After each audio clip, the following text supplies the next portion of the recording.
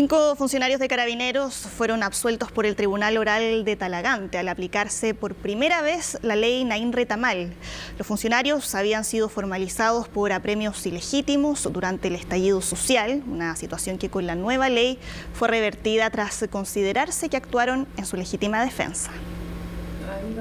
Este registro es una pieza clave en una investigación que tenía como imputados a cinco carabineros por apremios ilegítimos en el contexto del estallido social, hecho que ayer fue revertido por el Tribunal Oral en lo Penal de Talagante al considerar la recién aprobada Ley Naín Retamal. Lo que aquí el tribunal, durante, reitero, un juicio, todavía no había sentencia condenatoria, lo que hizo fue aplicar el artículo 18, número 2 y también el artículo 10, número 6 del Código Penal, donde se establece esta presunción legal en favor de los funcionarios de carabineros que hoy día fueron absueltos.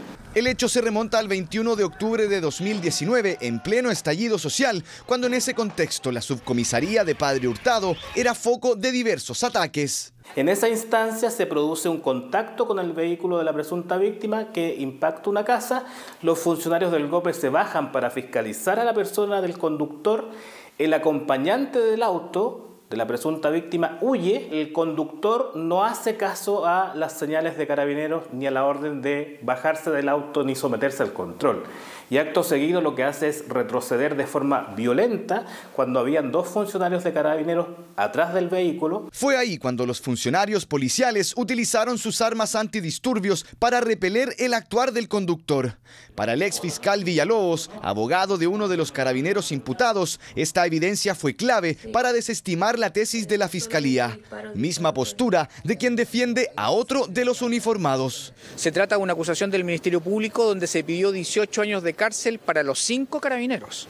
18 años de cárcel es una pena extraordinariamente elevada y la verdad es que habían antecedentes que daban cuenta eh, que los hechos habían ocurrido de una manera totalmente distinta de la manera interesada, me atrevería a decir, en que el Ministerio Público logró eh, construir su caso. Otra de las imputaciones de las que fueron absueltos tiene que ver con la falsificación de instrumento público, ya que habrían emitido un reporte erróneo de cómo habría ocurrido el hecho. No tiene que ver con la aplicación de la ley Naim, porque en el fondo aquí no hay legítima defensa asociada a esta falsificación del parte. Seguramente, nosotros creemos que esto va a ser así, eh, la prueba que recabó el Ministerio Público para acreditar ese delito de falsificación fue absolutamente insuficiente porque los hechos no ocurrieron de la forma en que la Fiscalía sostuvo esta imputación.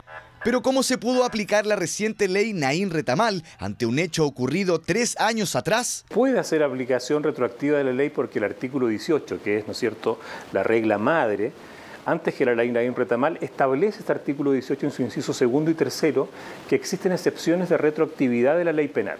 Y en este caso, Señala el inciso segundo del artículo 18 que cuando no existe una sentencia de término, una sentencia firme, ejecutoriada, pero se está durante un procedimiento penal, se puede aplicar una ley más benigna cuando esta entra en vigencia.